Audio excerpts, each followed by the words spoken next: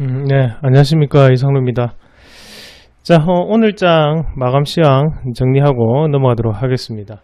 자, 일단 중국 증시 하락 마감됐고 어, 지금 오늘 중국 증시가 마지막에 하락을 하면서 국내 증시 같은 경우에도 조금 동조화 현상이 장 후반에 나타났다라고 추정을 해볼 수 있습니다. 자, 중국 증시 0.4% 어, 하락 마감을 했습니다. 자, 그리고 지금 미국 증시 같은 경우에도 나프타 관련해서 무역 분쟁 우려감이 여전히 나타나고 있고 아, 하지만 그에 따라서 이제 경제 지표 같은 경우에는 여전히 긍정적이기 때문에 어, 지금 지수 자체를 버텨주고 있는 과정입니다. 어, 그렇지만 글로벌적인 불확실성을 계속적으로 어, 무역 분쟁 관련해서 내재하고 있는 상황이기 때문에 아시아 증시를 동반 상승시키기에는 조금 역부족이다라는 부분까지 우리가 생각해 볼 필요가 있습니다. 자, 국내 증시 같은 경우에 좀 더 특징적인 부분을 살펴보시면 금일 어, 바로 투신권에서 매도가 꾸준히 나타났었고 그리고 외국인도 마찬가지 매도를 했습니다. 차익 매물이라고 좀 보실 필요가 있겠고요. 자 그러면 마찬가지로 코스닥 한번 같이 보시면 코스닥에서도 바로 이 투신권의 매도가 꾸준히 이어졌고 외국인도 소폭 매도로 포지션을 잡고 있는 과정입니다. 자 개인이 일단은 128, 1285억 원 정도를 매수를 했는데 자 결국에는 개인의 주도를 하는 개별주 장세가 연출되고 있다.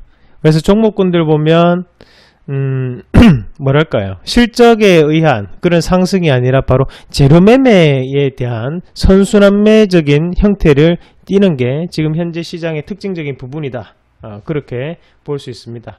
자, 지수 한번 같이 보고 넘어가도록 하겠습니다. 금일 같은 경우에 하락 마감을 했는데 자, 제가 볼 때는 2260에서 2265포인트 정도까지는 하락할 수 있기 때문에 이 포인트를 조금 열어놓고 대응할 필요가 있다 라는 부분. 그리고 지금 하락을 하면서 거래량이 더욱더 늘고 있거든요.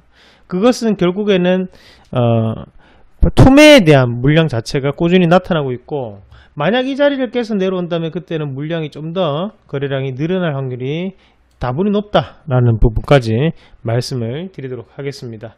자, 지금 현재 시장을 어, 같이 보시면 코스닥이 상대적으로 좀 더 강한 게 사실이고 이런 상대적 강세가 좀 더 지속될 확률이 높다라는 부분. 그리고 9월 달이 거래일이 상당히 짧습니다. 그 짧은 거래일이기 때문에 어, 코스피의 대형주들에 대한 매기세가 들어와서 어, 주가를 올리는 것은 조금 역부족이다. 결국에는 좀 더 작은 종목군들, 스몰캡 관련 종목군들에 대한 반등세가 어, 줄을 이룰 수 있는 바로 9월달 시장 분위기다라는 부분까지 말씀드리겠습니다. 자 그러면 오늘 특징적인 종목군들 한번 살펴보실 텐데 먼저 삼성 출판사 한번 같이 보겠습니다. 자 삼성 출판사가 거의 뭐 4일 동안 지금 100% 가까이 수익이 나오고 있는 과정인데 자 어, 오늘 19,800원을 장중 고가를 찍고 신고가입니다. 찍고 내려왔는 과정이고 어, 삼성 출판사 같은 경우에는 지금 영국의 음악 차트에 올랐다라는 순위권에 들어왔다라는 부분도 있지만 우리가 또 생각을 해 보셔야 되는 것은 지금 핑크폰 관련이거든요. 핑크폰 관련 그러니까 이 핑크폰 관련해서 주가에 대한 움직임이 상당히 좋게 나타나고 있고 또 한 가지 더 보신다면 어, IPTV를 대상으로 IPTV 안에서도 핑크폰 TV라는 게 채널이 존재를 합니다. 결국에는 채널에 대한 다변화, 매출에 대한 다변화가 이루어지고 있는 상황이기 때문에 주가적인 부분에서 어, 급등이 나타났고 다만 이런 부분 자체는 바로 회사에 대한 가치가 바뀌면서 상승을 했기 때문에 어, 다시 한 번 더뭐 많은 때까지 내려간다 그런 거는 제가 볼 때 조금 현실적이지 않고 다만 15,000에서 16,000원 부분이 적정 가격대로 유지될 확률이 높다라는 부분까지 말씀을 드리겠습니다 어, 제가 알기로는 내일부터 단일호가에 들어가는 걸로 알고 있는데 어, 이런 종목군들은 추격 매수보다는 적정 가격대의 단기적인 반등을 좀 더 노려보신 전략으로 말씀을 드리도록 하겠습니다. 자 다음 종목 한번 같이 보도록 하겠습니다. 다음 종목 한솔홈데코 한번 같이 보겠습니다. 한솔홈데코가 오늘 조림 관련해서 급등 양상을 좀 나타냈고 결국에는 경업주거든요. 북한과의 관계적인 이슈 때문에 올랐다고 보시면 되겠고요. 남북에 대한 관계는 지금 상당히 긍정적인 과정이 이어지고 있습니다. 결국에는 문제는 바로 미국이겠고, 그럼 미국에 대한 부분 자체가 해결에 대한 희망을 가지고 있다 라고 볼 수 있겠고요. 오늘 밤에 미국에서 어, 바로 트럼프 대통령이 어떤 립 서비스를 해줄 수 있느냐에 따라서 내일 경업주에 대한 어, 상승과 하락이 나타날 확률이 높다라고 판단합니다. 어, 지금 북한은 결국에는 경업주 같은 경우에는 북한에 대한 움직임보다는 바로 미국에 대한 발언에 대해서 좀 더 포커스를 맞추고 움직이거든요. 그래서 오늘 밤에 있을 이 미국 트럼프 대통령의 발언이 상당히 중요한 역할을 할 것이다. 까지 말씀드리겠습니다.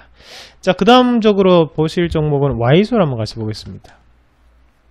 Y솔이 오늘 신고가를 형성하면서 19,750원, 어, 종가가 최고가를 터치를 했는데요. 어, 와이솔 같은 경우는 와이파이 증폭기 관련 업체인데 이 업체가 지금 현재 이슈가 될 수 있는 부분이 바로 와이파이 공공 와이파이에 대한 확대가 정책적으로 계속적으로 이어지고 있다는 거죠. 그러면서 이 3분기 내 실적도 어, 상당히 우리가 기대할 수 있는 그런 과정이고요. 충분히 지금 이슈화가 되고 있기 때문에 어, 거기에 따라 재료적인 모멘텀도 가지고 있는 종목입니다.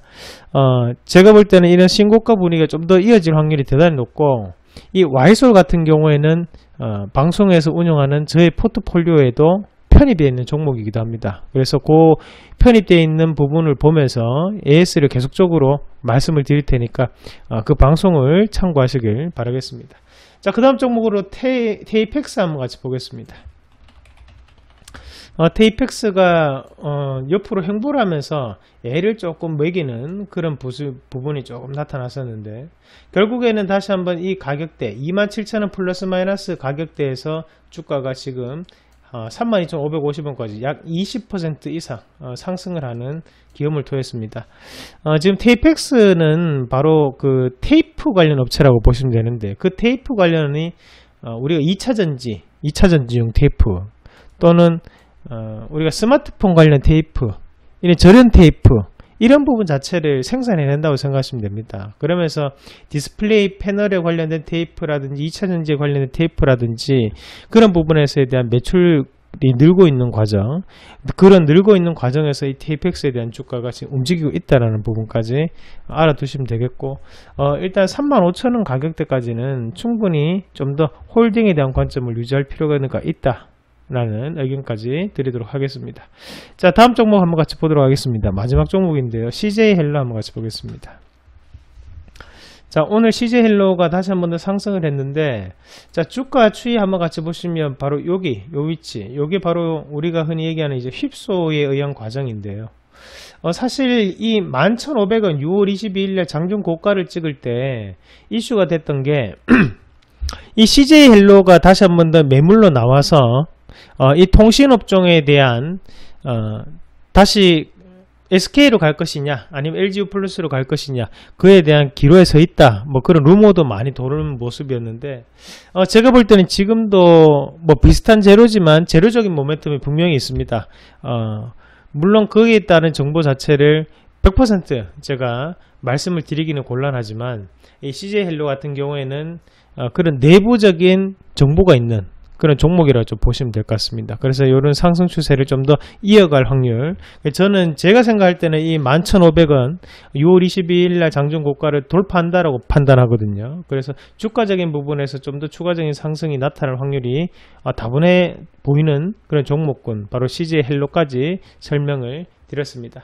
자, 내일도 마찬가지로 어, 마감 시황을 여러분들께 말씀을 드릴 거고 어, 오늘 음, 그 마감 시황 브리핑을 여기서 마치도록 하겠습니다. 이상입니다.